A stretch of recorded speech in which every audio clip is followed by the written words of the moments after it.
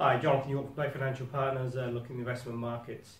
Uh, potentially could be shaping up as pretty uh, pretty interesting next couple of weeks. Um, the first shots have sort of been fired into the uh, investigations into the Trump administration. Um, with Special Counsel uh, Mueller has uh, uh, announced his first indictments, and it's just going to be very interesting now to see how they sort of play through. Um, you know, potentially, obviously, Trump is trying to distance himself, saying all these events occurred before uh, the, the uh, relevant individuals joined his campaign. Um, but I think uh, you know that's probably stretching the truth, and it's just going to be interesting, I say, to see how it sort of plays through.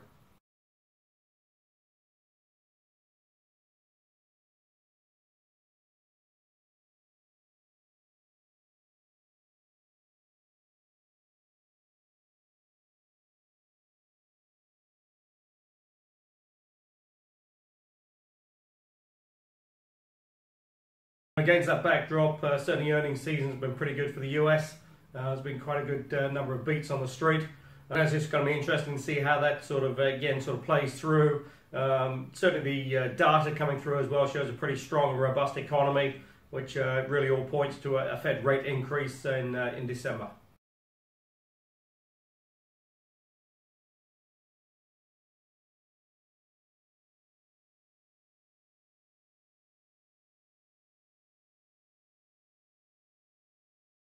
Uh, just on the Fed as well, uh, Trump is expected to announce his, uh, his new chair for uh, um, the next term going forward.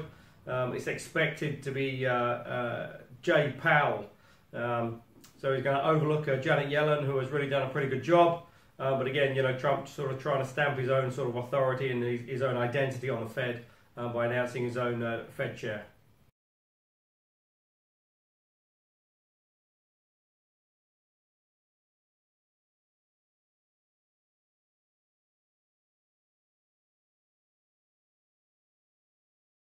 Still got tax reforms in the US bubbling away as well, and uh, you know they are looking like they're starting to gain a little bit of traction. But obviously, you know most of the uh, attention is being centered on the investigation, and that's taken away a little bit of the shine a little bit of emphasis on the tax reforms, which really should be pretty positive for the US economy.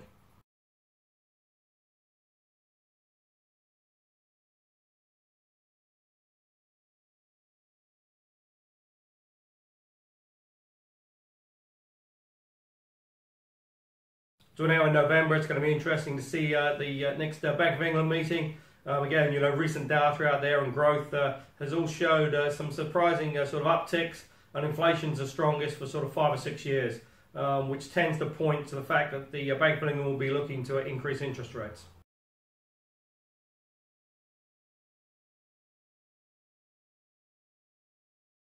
Again, that's against the backdrop of Brexit, which really appears to be going nowhere fast.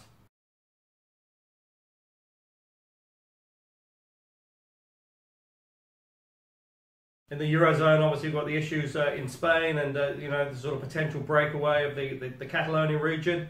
It'll just be interesting to see really how the eurozone you know can sort of react to this and whether Spain can uh, manage to keep uh, Catalonia within its sort of boundaries and borders, or whether it will actually uh, you know formally uh, accept and more, more, importantly sort of identify that Catalonia is now an independent state. Um, that appears to be unlikely.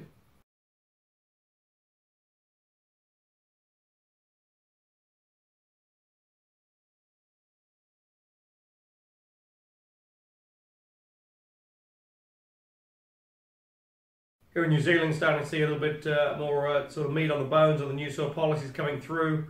Prime Minister Jacinda Ardern announced yesterday the ban on uh, foreign buyers uh, for New Zealand homes, and it's going to be interesting to see how that sort of plays through. Um, that's expected to come into legislation next year.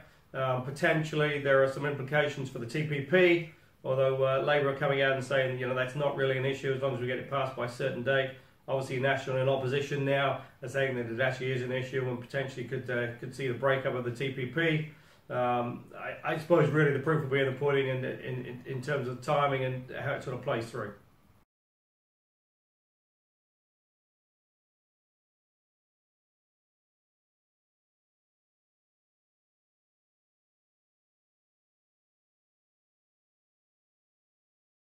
Elsewhere, again, New Zealand economy pushing on at a pretty good rate.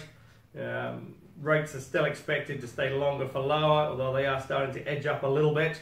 The big move since the election announcement has obviously been the New Zealand dollar. That's come under quite a bit of pressure, and it's just going to be see, interesting to see where that sort of floor is found. Um, currently hovering around that sort of 88.5 to 89 uh, cents versus the Aussie. And it's just going to be interesting to see if we, we see a little bit of uh, buying activity coming into at that sort of level.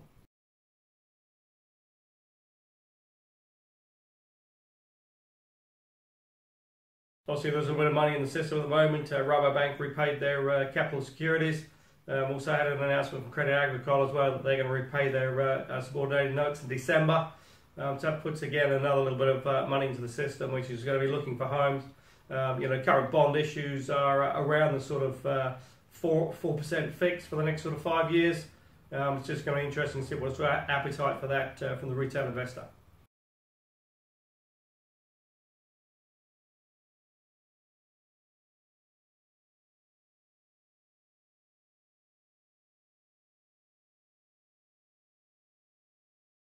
Are looking for income, you know, there are plenty of options out there. And call us on 0800 867 323 or go to the website www.bayfinancialpartners.co.nz for lots of interesting articles. And we look forward to speaking to you soon.